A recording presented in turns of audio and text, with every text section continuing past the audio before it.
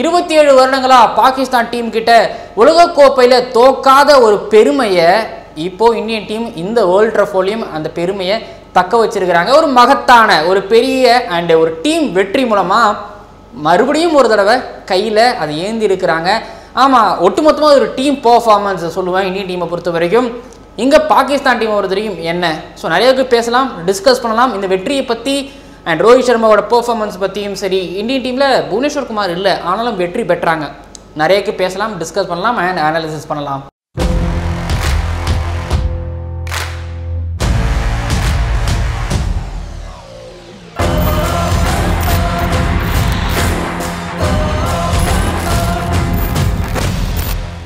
Gentle ladies and gentleman இது கிரிகானந்தாஸ் cricket show இந்த two thousand nineteen ICC cricket world cup special கிரிகானந்தாஸ் cricket ஷோவில் world ட்ரஃபோவில் நடந்து முடிஞ்ச இந்தியா வர்சஸ் பாகிஸ்தான் மேட்சோட அனாலிசிஸ் அண்ட் ரிவ்யூ இது. அண்ட் இந்தியன் டீம் என்ன சொன்ன மாதிரி ஒரு மகத்தான ஒரு வெற்றியை வேர்ல்டு ட்ரஃபோலையும் ருசிச்சிருக்கிறாங்க. அண்ட் இந்த மேட்சை பொறுத்த வரைக்கும் ஒரு கம்ப்ளீட் டீம் வெற்றி. அண்ட் அதை தாண்டி நான் சொல்ல வேண்டிய ரெண்டு மூணு விஷயங்களாக இருக்குது ஒன்று நான் என்னோடய ப்ரீ அனாலிசிஸில் நிறைய விஷயங்கள் சொல்லியிருந்தேன். அது அப்படியே நடந்திருக்குது. பாகிஸ்தான் டீம்கிட்ட என்னென்ன பிரச்சனைகள் இருக்குது அண்ட் அவங்கள ப்ளஸ் அண்ட் மைனஸ்லாம் நிறைய பேசியிருந்தேன். அது அப்படியே நடந்திருக்கு. அதுக்கு எதிர்வினையாக நிறைய பேர் கீழே கமெண்ட் பண்ணியிருந்தாங்க. ஸோ பாகிஸ்தான் டீமை பற்றி ஏன் இவ்வளோ பேசுறீங்க? பாகிஸ்தான் டீம் பேசுகிறதுக்கு இவ்வளோ பெரிய டீம்லாம் கிடையாது அப்படின்னு சொல்லிட்டு நிறைய பேர் பேசியிருந்தீங்க. நான் ஒரே ஒரு விஷயம் தான் சொல்லுவேன். நான் பேசுகிறது தமிழில். ஸோ தமிழ் அதிகமாக பேசுகிற இடம் தமிழ்நாடு. தமிழ்நாடு இருக்கிறது எதுங்க? இந்தியாவில் ஸோ இந்தியர்களுக்காக தான் இந்த ஒரு அனாலிசிஸ் பண்ணுறேன் ஸோ இந்தியா எதிர்த்து ஆட போகிற டீம் பாகிஸ்தான். ஸோ பாகிஸ்தான் இந்திய நாடுக்கு அகேன்ஸ்டாக விளையாட போகிறாங்க ஸோ அகேன்ஸ்டாக ஆட போகிற டீமோட பலம் பலவீனம் என்ன அப்படிங்கிறத முதல்ல இந்தியன் டீமோட ரசிகர்கள் உணரணும் தெரிஞ்சுக்கணும். ஸோ அதை வச்சுட்டு மேட்ச் பார்த்தீங்கன்னா உங்களுக்கு ஓரளவு மேட்சோட ரிசல்ட் என்ன அண்டு மேட்ச் எப்படி நகரப்போகுது அப்படிங்கிற எல்லா விஷயமும் உங்களுக்கு தெரிஞ்சிடும். ஒரு அனலிஸ்டாக ஒரு ரிவ்யூவராக இதை வந்து கிரிக்கெட் ரசிகர்களுக்கு கொண்டு போய் சேர்க்கணும் அப்படிங்கிறது என்னோட ஒரு கடமை. அதனால் வீடியோ கொஞ்சம் லென்த் ஆகலாம் அண்டு அகேன்ஸ்டாக விளையாட போகிற டீமை பற்றி நான் அதிகமாக பேசலாம். பட் ஆனால் என்றைக்கும் ஒன் சைடட் ரிவ்யூவாக இந்தியாவுக்காக ஒரு ரிவ்யூவாக எப்போவுமே என்னோடய வீடியோ இருக்கவே இருக்காது என்னோட அனலிசம் இருக்காது. ஸோ இந்தியாவில் அதிகமாக இதை வீடியோ பார்க்குறாங்க அப்படிங்கிறதுனால ஸோ பாகிஸ்தான் டீம் பற்றி கொஞ்சம் அதிகமாக பேச வேண்டி வரும். பட் ஆனால் நான் சொன்ன அனலிசிஸ் பண்ண எல்லா விஷயங்களும் அது அப்படியே நடந்தது. இது ஒரு டிஸ்க்ளைமர் மாதிரி வச்சுக்கோங்க.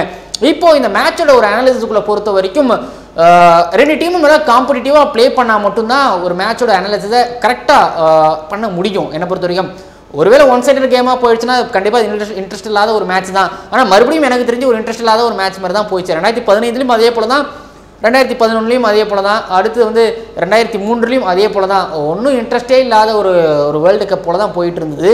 அதே போல் ஒரு போட்டி தான். ஒன் சைடட் கேம் மாதிரி தான் வந்து அகைன் நடந்திருக்குது.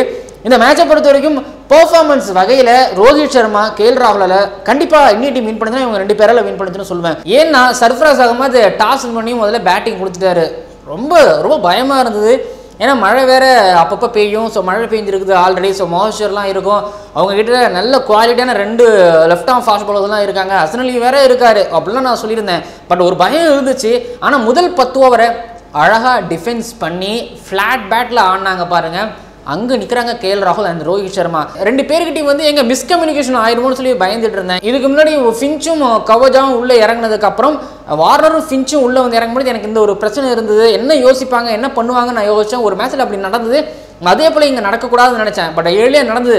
ஆனால் அது சமாளித்ததுக்கப்புறம் ஆடினாங்க பாருங்கள் கேஎல் ராகுலும் ரோஹித் சர்மாவும் அதுலேயும் ரோஹித் சர்மாவுக்குலாம் நீங்கள் ஆஃப் சைடில் ஷார்ட் பால் போடலாம் அடி வெளுத்தாரு. அதுக்கப்புறம் வந்து லெக் சைடில் ஷார்ட் பால் யாராச்சும் அவருக்கு ஷார்ட் பால் போடுவாங்களா? வகப்பிரியர் ஷார்ட் பால் போடுறாரு அசன்லி ஷார்ட் பால் போடுறாரு அவ்வளோ லூஸ் டெலிவரிஸ் வந்து போடுறாரு அடுத்து வந்து எனக்கு தெரியும் ஷட்டப் கானெலாம் இறங்கி பாவமே பார்க்கல. எல்லாரையும் அடிச்சுக்கிட்டே இருந்தார். பேக் ஆஃப் வந்து அசனலி போடுறாரு அசனலி அடித்தார் ஒட்டுமொத்தமாக எல்லாரையுமே அடித்தார் அதாவது கொஞ்சம் ரிலீஃப் ஆகிற மாதிரி ஒரு லூஸ் டெலிவரி அதிகமாக அசனலி போட்டுட்டு இருந்தார். அதை விடவே இல்லை அடிச்சிட்டு இருந்தார்.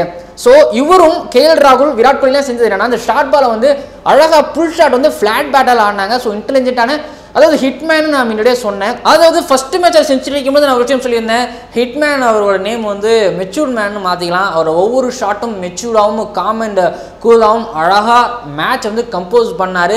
நூற்றி நாற்பது ரன்கள் அடித்த ஒவ்வொரு ஷாட்டும் ப்ரில்லியண்ட்டாக இருந்தது. லாஸ்ட்டு ஒரு ஷாட்டு தவிர அவருக்கு வந்து ஃபைன் லெக் வந்து ஷார்ட் ஃபைன் லெக்காக வைக்கும் பொழுது அது அவர் பார்த்தாரான்னு தெரியல. கொஞ்சம் ஃபீல் செட் செக் பண்ணியிருக்கலாம் பட் ஆனால் அன்ஃபார்ச்சுனேட்லி அந்த அவுட் ஆகிடும் ஸ்கூப் ட்ரை பண்ணார் பட் ஆனால் அன்ஃபார்ச்சுனேட்லி அந்த ஒரு ஷாட் தவிர மற்ற எல்லா ஷாட்டும் பார்த்தீங்கன்னா மெச்சூர்டான ஒரு ஷாட் அதாவது ஸ்வீப் ஆனார் புல் ஷாட் ஆனார் ஆஃப் சைடில் வந்து அரைகிற ஷாட்டுகளும் ஆகட்டும் எல்லா ஷாட்டும் இன்றைக்கி அழகாக ரோஹித் சர்மா அவருக்கு ஆனார் அதே போல் கே எல் ராகுலும் அவர்களும் ஆன அந்த ஃப்ளாட் பேட் ஷாட்ஸ்லாம் நிறைய சூப்பராக ஆனார். இன்னொரு பக்கம் வந்து விராட் கோலி அவர்களும் ஆகட்டும். ஸோ ஒட்டுமொத்தமாக இன்னி டீமோட பேட்டிங் பேட்டிங் இன்றைக்கி சூப்பராக இருந்தது நான் சொல்லுவேன் பட் ஆனால் குறையின் நான் பேசியே ஆகணும் நம்மளோட டீமோட பேட்டிங் பொறுத்த வரைக்கும். எப்படி ஹர்திக் பாண்டியா அவர்கள் வரும்பொழுது ஆஸ்திரேலியன் டீமுக்கு அகேன்ஸ்டாக எந்த நிலமையில இருந்ததோ அதே போல தான் இன்றைய நிலைமையிலும் இருந்தது. அவர் வந்து அட்லீஸ்ட் ஒரு அவர் ஒரு நாற்பது ரன்கள் ஒரு ஆஃப் செஞ்சுரி அடிக்கும்போது இந்தியன் டீமோட ஸ்கோர் வந்து ஒரு முந்நூறு ரன்னுகளுக்கு மேலே போயிட்டு அடுத்து தோனி அவர்களும் அடுத்தது வந்து இங்கே விஜய் சங்கர் அவர்கள் இவர்களும் விளையாண்டாங்கன்னா முந்நூற்றி ஐம்பதுக்கு மேலே முந்நூற்றி அறுபது ரன்களுக்கு மேலே போயிருக்கணும். ஆனால் இன்னைக்கு யாரும் வந்து அந்த அளவுக்கு எனக்கு தெரிஞ்சு பெருசாக விஜய் சங்கரோ தோனியோ விளையாடல தான் நான் சொல்லுவேன். விஜய் சங்கர் வந்து ஒரு எனக்கு தெரிஞ்சு ஒரு ஏழு எட்டு பால் வேஸ்ட் பண்ணாரு. ஹர்திக் பாண்டியா வந்து ஹசன் அலி பாலோட ஸ்லோ பாலில் வந்து எனக்கு எனக்கு தெரிஞ்சு ஒரு எட்டு எட்டு பால் ஒரு பத்து பால் வந்து அவர் வேஸ்ட் பண்ணாரு. ஸோ எனக்கு தெரிஞ்சு டார்கெட் இன்னைக்கு ஒரு கம்மி தான் நல்ல வேலை பவுலர்ஸ்கள் இன்னைக்கு நல்லா போட்டாங்க அப்படிங்கிறதுனால பாகிஸ்தான் டீமுக்கு அகேன்ஸ்டாக ஓரளவு வின் பண்ணிட்டோம். ஒரு நல்ல ஒரு வெற்றி அடைஞ்சிட்டோம். பட் ஒருவேளை ஒருவேளை வந்து பாகிஸ்தான் டீமோட பேட்ஸ்மேன்கள் கொஞ்சம் கரெக்டாக விளையாண்டுருந்தாங்கன்னா ரிசல்ட் தலைகீழாக கூட மாறி மாறி இருந்திருக்கலாம் இந்த வேர்ல்ட் ட்ரஃபோர் நல்லா இருந்தது. நம்ம ப்ரீ அனலிசிஸ் சொல்லி அந்த மாதிரி. ஸோ பெரிய ஸ்கோருக்கான ஒரு பிச் அமைக்கப்படலாம். அண்ட் விக்கெட் அமைக்கப்படலாம் சொல்லியிருந்தேன். அதே போல் அமைச்சிருந்தாங்க. அண்ட் அடுத்தது இங்கே வந்து பவுலிங்கை பொறுத்த வரைக்கும் வித்தவுட் புவனேஸ்வர் குமார் இல்லாமல் விராட் கோலி அவர்களோட கேப்டன்ஷிப்பில் இந்த பவுலிங்கை வச்சு அவங்கள வந்து டிஃபைன் பண்ணாங்க பாருங்கள் சூப்பராக இருந்தது. முதல்ல வந்து புவனேஸ்வர் குமார் வந்து செட் பண்ணிக்கிட்டே தான் இருந்தார். அதாவது அந்த ஃபோர்த் ஸ்டெம்பில் வெளியே செட் பண்ணிக்கிட்டே தான் இருந்தார். பும்ராவும் செட் பண்ணிக்கிட்டே தான் இருந்தார். ஸோ நான்கு பாலுக்கு அப்புறம் வந்து எப்படியா இருந்தாலும் அந்த இன்கமிங் பாலை எதிர்பார்த்துருக்கவே மாட்டாரிமா அவங்க ஆனால் அதை வந்து விஜய் சங்கர் அவர்கள் அதை தான் பண்ணார். ஸோ அது ஒரு பிரில்லியண்டான ஒரு பவுலிங் எனக்கு தெரிஞ்சு அங்கேருந்து தான் பிரேக் த்ரூ ஆரம்பிச்சது நான் நினைக்கிறேன். அடுத்து வந்து யுஸ்வேந்திர சகலை பொறுத்த வரைக்கும் அதுக்கப்புறம் குல்தீப் அது ரெண்டு பேருக்கும் நல்லா டேர்ன் ஆச்சு. ஏன்னா ஃபர்ஸ்ட் இன்னிங்ஸில் இமாந்து வசீமுக்கு டேர்ன் ஆச்சு. ஸோ அதை அழகாக இங்கே யூட்டிலைஸ் பண்ணி விக்கெட்டுகளை எடுத்தாங்க. ஸோ யுவேந்திர சகலோட பவுலிங்கும் குல்தீப் யாதவோட பவுலிங்கும் வந்து அங்கே ஷதப்கானோட ஒரு பவுலிங்கை வச்சு கரெக்டாக பார்த்துடலாம். ஆனால் நான் ப்ரீ அனாலிசில் சொல்லியிருந்தேன் அசன்லியை டார்கெட் பண்ணணும் டார்கெட் பண்ணி நல்ல ஸ்கோர் பண்ணணும் சொல்லியிருந்தேன். அதே போல் அசன்லியை டார்கெட் பண்ணி ஸ்கோர் பண்ணேன் அடுத்தது சதப்கானை பற்றி நான் சொல்லியிருந்தேன். சதப்கான்கிட்டையும் பர்ஃபெக்டாக ஆடினாங்க இன்னொரு பக்கம் வந்து டாப் ஆர்டரில் மூன்று பேரில் யாராச்சும் ரெண்டு பேராச்சும் சரியாக ஆடணும்னு சொல்லியிருந்தேன்.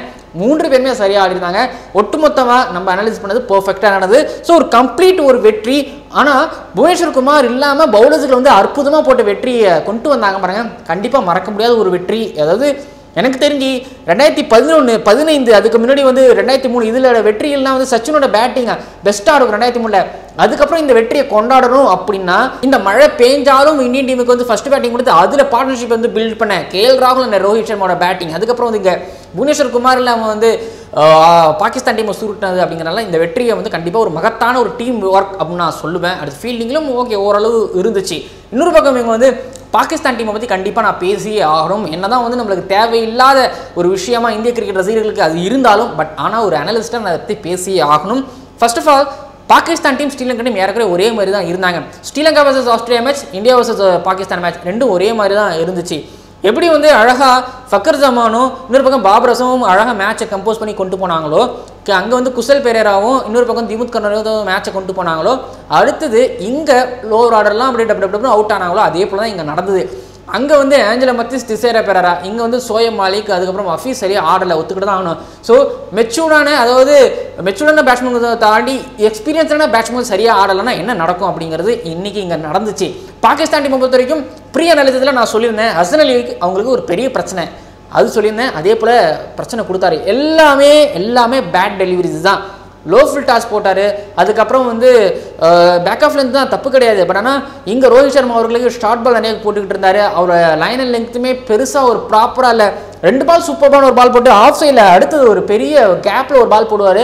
அது அழகாக அடிச்சிட்டு இருந்தாங்க இந்தியன் பேட்ஸ்மேன் இந்த மாதிரி டெலிவரிஸ் ரெண்டு பாலுக்கு ஒரு தடவை இல்லை மூணு பாலுக்கு ஒரு தடவை இப்படி வரதுனால ஓவருக்கு ஒரு மூணு பால் இப்படி வந்துருது. அவரோட பாலை அடிச்சிடுறாங்க. சதப் கான் செஹல் அண்ட் குல்தீப் யாதவ் வேர்சஸ் இங்கே சதப் கானோட ஒரு பவுலிங் லைனை லெங்க்த்லாம் பிச் பண்ணுற இடம்லாம் பார்த்தீங்கன்னா உங்களுக்கு கிளியராக தெரியும். செஹல் அண்ட் குல்தீப்லாம் எக்ஸ்ட்ரானரி தான் ஒத்துக்கிட்டு தான் ஆகணும். இந்த குல்தீப் யாதவ் ரெண்டு பக்கமும் டேர்ன் பண்ணுவார். அதாவது இப்போ செஹல் அண்ட் குல்தீப் பார்த்தீங்கன்னா ஒரே இடத்துல பிச் பண்ணி ப்ரெஷர் கொடுத்துக்கிட்டே இருப்பாங்க. இங்கே சதப் கான் அப்படி கிடையாது. அவரோட லென்த்லாம் பார்த்தீங்கன்னா ரொம்ப ஷார்ட்டாக போடுவார். அண்ட் கொஞ்சம் பேஸ் இருக்கும். ஸோ அதனால ஈஸியாக அவரை வந்து அடிச்சிடுறாங்க. ஸோ அது டிசிப்ளினான ஒரு பேஸும் ஒரு ஒரு லெங்க்த்தும் அவர்கிட்ட இருக்காது. அதனால வந்து பேட்ஸ்மேன்களும் அவரை ஈஸியாக அடிச்சிடுறாங்க. அது அவங்களுக்கு ஒரு மிகப்பெரிய ஒரு பிரச்சனை. அடுத்து சோயப் மாலிக் கிட்டத்தட்ட கிட்டத்தட்ட ஒன்றரை வருஷமாக ஒரு ஃபார்மில் இல்லை தான். பட் வேறு வழி இல்லை. எக்ஸ்பீரியன்ஸ்டான ஒரு பிளேயர் தேவை அப்படிங்கிறதால அவர் எடுக்கிறாங்க. இப்போ நீங்களே யோசிச்சு பாருங்க. அங்கே ஆஞ்சலோ மேத்யூஸும் திசாரே பெறாரும் சரியாக விளாட மாட்டாங்க வேற யாரை உள்ள எடுத்து வைக்கிறது? அது ஒர்க் அவுட் ஆகுமா அப்படிங்கிற ஒரு கேள்வி தான் அதே போல தான் இங்கே சோயமலைக்கு மாலிக் சரியாக ஆட மாட்டாரு அப்போ ஹாரிஸ் சோகில் உள்ள வைக்கலாமா? கிளிக் ஆகாது இல்லை. அதே தான் இவங்களுக்கு இருக்கிற பிரச்சனை. ஹாரிஸ் சோகில் ரொம்ப மோசமாக நீங்கள் அவுட் ஆனாரு.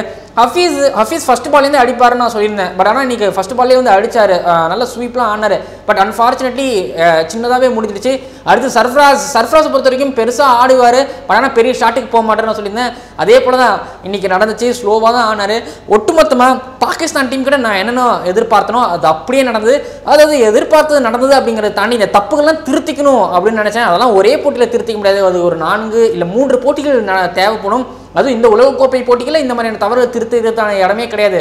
வந்தாங்கன்னா ஸ்ட்ரைட்டாக கப் அடிக்கிறதுக்கான ஒரு விஷயமாவும் இல்லை மேட்சை வின் பண்ணுறதுக்கான ஒரு போட்டிகளாகவும் தான் இருக்குமே தவிர இந்த மாதிரியான தவறுகளை திருத்திக்கிறதுக்கான இடமா இருக்கக்கூடாது. பாகிஸ்தான் டீமும் ஸ்ரீலங்கா டீமும் இந்த நிலமையில தான் இருக்கிறாங்க. ஒட்டுமொத்தமாக ஃபீல்டிங்கை பற்றி நான் ஆல்ரெடி சொல்லியிருந்தேன். அவங்க கிட்ட இருக்க மிகப்பெரிய ஒரு பிரச்சனை ஃபீல்டிங் சொல்லியிருந்தேன். ரோஹித் சர்மாவை வந்து கரெக்டாக அந்த நான் ஸ்ட்ரைக் எண்டில் வந்து த்ரோ பண்ணியிருந்தாங்கன்னா அங்கேயே மேட்ச் முடிஞ்சிருந்தது. அதை விட்டுட்டாங்க. அடுத்தது இந்த வேர்ல்ட் ட்ரஃபோர்ட் பார்த்தீங்கன்னா பெரிய ஒரு விக்கெட் இங்கே சிங்கிள்ஸ் அண்ட் டபுள்ஸ் எடுக்கணும். அது எடுக்கிற கெப்பாசிட்டி ரோஹித் சர்மாவுக்கும் கேஎல் ராகுலுக்கும் அதிகமாகவே இருக்கு. அதை விட்டுக்கிட்டே இருந்தாங்க. அசால்ட்டா அசால்ட்டா ரெண்டு ரன்கள் ரெண்டு ரன்கள் விராட் கோலி அவர்கள் வந்து ஓவருக்கு ரெண்டு ரன் எடுக்கும்பொழுது ஆட்டோமேட்டிக்காக அது பன்னெண்டு ரன்களாக வந்து ஜென்ரேட் ஆகிட்டே இருந்து அதை அங்கே விட்டாங்க. ஃபீல்டிங் பவுலிங் பேட்டிங் எல்லாமே வேஸ்ட்டாக இருந்தது. விராட் கோலி அவரோட கேப்டன்ஷிப் சர்ஃப்ராஸோட கேப்டன்ஷிப் நாங்கள் கம்பேர் பண்ண அப்படின்னா சர்ஃப்ராஸ் விராட் கோலி அவர்களோட அதிக எக்ஸ்பீரியன்ஸ்டான ஒரு பிளேயர் அதை தாண்டி எக்ஸ்பீரியன்ஸ்டான ஒரு கேப்டன் பட் இங்கே விராட் கோலி அவர்கள் பண்ண ஒரு கேப்டன்ஷிப் சூப்பராக இருந்தது. ஓகே புவனேஸ்வர் குமார் இல்லாதனால வேற வழியில் விஜய் சங்கர் தான் யூஸ் பண்ணி ஆகணும். ஸோ அது பிரில்லியண்டான கேப்டன்ஷிப் கிடையாது. பட் வேறு வழியில் இங்கே யூஸ் பண்ணி ஆகணும். ஆனால் அடுத்து மாற்றி மாற்றி யூஸ் பண்ண பாருங்கள் யுஸ்வேந்திர சகல் உடனே ஹர்திக் பாண்டியா ரெண்டு பேரும் மாற்றி மாற்றி போட்டு பொழுது உடனே விக்கெட் டக்குன்னு விடுதா யுஸ்வேந்திர சகல் குல்தீப் யாதவ் மாற்றி மாற்றி ட்ரை பண்ணிகிட்டே இருந்தார். அடுத்து ஜஸ்பிரீத் பும்ரா உள்ளே கொண்டு வராரு. உடனே அடுத்து ஹர்திக் பாண்டியா குல்தீப் யாதவ் ஹர்திக் பாண்டியா சகல் மாற்றி மாற்றி பேஸ் ஸ்பின் பேஸ் ஸ்பின்னு சொல்லி மாற்றி போட்டுக்கிட்டே இருந்தார்.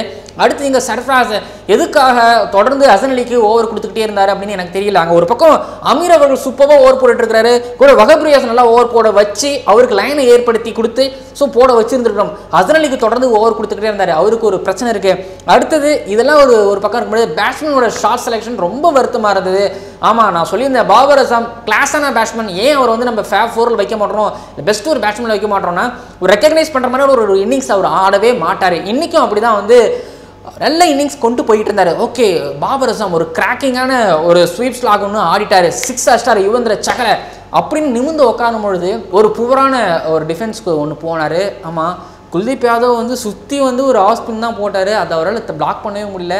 கண்டிப்பாக அது பாபர் அசாமோட தவறுங்கிறத விட குல்தீப் யாதவோட பிரில்லியன்ஸ் நான் சொல்லலாம். ஓகே அடுத்தது இங்கே ஃபக்கர் ஜமானுக்கு ஃபக்கர் ஜமான் வந்து தேவையில்லாத ஒரு ஸ்வீப் ஷாட் போனார். இப்போ தான் ஒரு விக்கெட் விட்டுருக்காங்க கொஞ்சம் பொறுமையாக ஆடுவோமே. ஏன் அவசரமாக ஆடணும்? அவசரமாக ஆனார் விக்கெட்டை இழந்தார். இப்படின்னு சொல்லிட்டு எல்லாருமே தப்பான ஷார்ட் செலெக்ஷன்ஸ் அடுத்தது இமாம் உலகை பொறுத்த வரைக்கும் ஸோ செட் பண்ணிக்கிட்டே இருக்கிறாங்க அப்படின்னா அடுத்த பாலும் செட் பண்ணிக்கிட்டேவா இருப்பாங்க. கொஞ்சம் நிதானமாக ஆடி இருந்திருக்கணும் விஜய் சங்கர் அவர்களை வந்து அவர் ரீட் பண்ணவே இல்லைன்னு தான் நான் நினைக்கிறேன். அதாவது இங்கே இல்லை.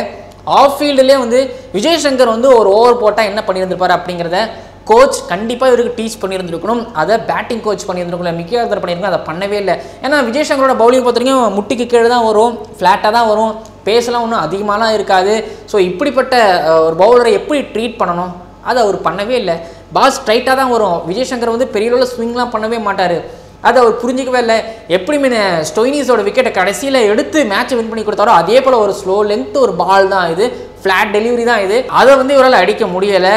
இம்மா முழுகக்கு ஸோ பரிதாபமான ஒரு ஷார்ட் செலெக்ஷன் பரிதாபமான ஒரு டீம் செலெக்ஷன் வேறு வழி கிடையாது. இவங்கள தான் செலக்ட் பண்ணி ஆடி ஆகணும் அப்படிங்கிற மாதிரி தான் ஒரு நிலைமை. அப்படி தான் சர்ஃப்ராஸ் ஆகும்போது வந்து டீமை செலக்ட் பண்ணிட்டு இருக்கிறாரு ஸோ என்ன பண்ணுறது ஒன்றுமே பண்ண முடியாது. இந்தியன் டீமுக்கு ஒரு மகத்தான ஒரு வெற்றி தான். இந்திய ரசிகர்கள் கண்டிப்பாக இந்த வெற்றிக்கு வந்து கொண்டாடுவாங்க. ஏழுக்கு ஜீரோ அப்படிங்கிற ஒரு நம்பர் பெரிய ஒரு நம்பர் கா தொன்று தொட்டு இந்த ஒரு வரலாறு தொடர்ந்துக்கிட்டே இருக்குது. ஸோ கண்டிப்பாக இந்திய ரசிகர்கள் கண்டிப்பாக வெற்றியை கொண்டாடலாம். பட் ஆனால் எனக்கு எனக்கு வந்து பாகிஸ்தான் டீம் வந்து ஒரு காம்படிட்டிவான ஒரு கிரிக்கெட் ஆடலையே அப்படிங்கிற ஒரு வருத்தம் எனக்குள்ளே இருக்குது.